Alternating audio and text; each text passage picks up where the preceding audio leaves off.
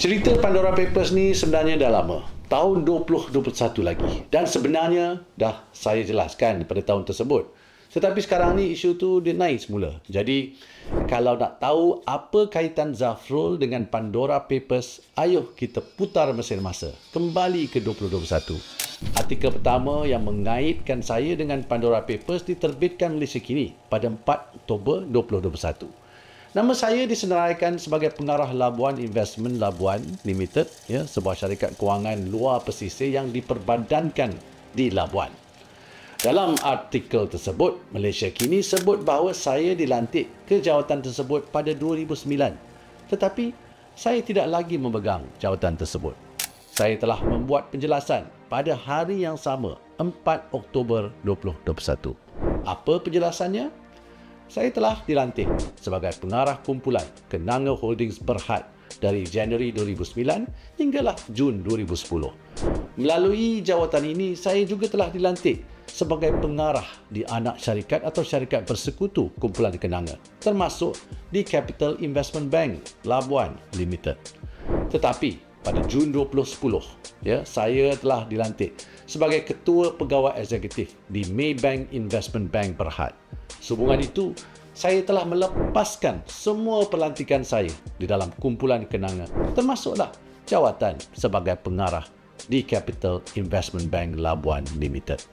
Itulah dia ceritanya.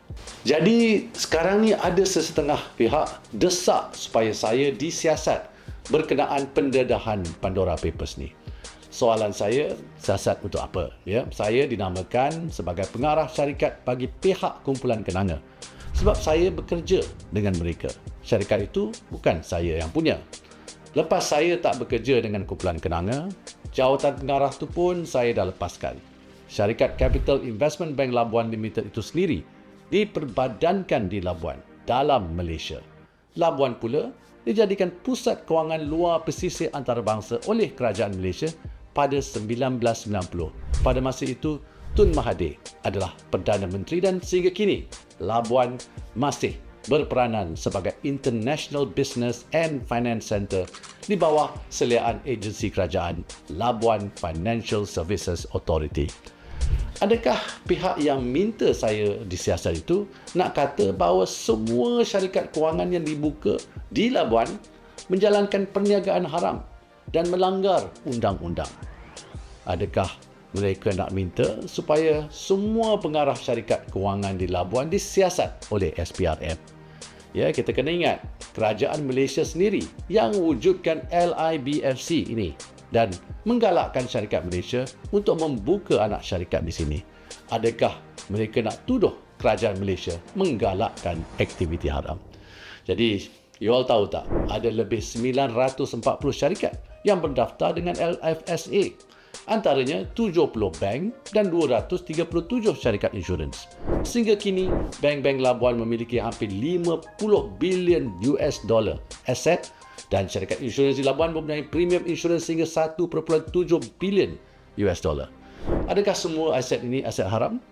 Untuk 2022 saja, syarikat-syarikat di LIBFC menyumbang cukai lebih 1 bilion ringgit. Kalau ini semua aset haram, adakah kerajaan kutip cukai dari aktiviti haram? LIBFC juga ialah majikan kola putih terbesar di Labuan dengan lebih 9,000 pekerja, 20% daripada jumlah pekerjaan di seluruh Labuan.